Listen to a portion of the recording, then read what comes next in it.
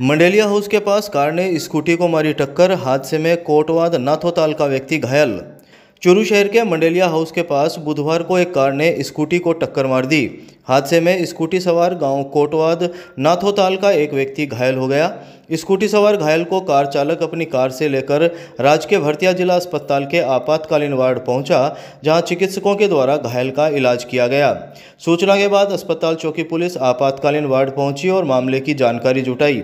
जानकारी के मुताबिक गाँव कोटवाद नाथोताल के 41 वर्षीय मनोज कुमार की पेट्रोल पंप के पास ऑटो पार्ट्स की दुकान है।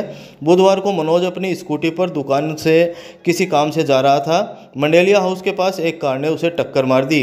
हादसे में स्कूटी बुरी तरह क्षतिग्रस्त हो गई। अच्छी बात यह रही कि कार ड्राइव कर रहा व्यक्ति मौके से भागा नहीं, बल्कि उसने घायल मनोज को अपनी कार से जिला अस्पताल के आपातकालीन वार्ड पहुँचाया। हादसे में मनोज के सीने में चोट लगी है।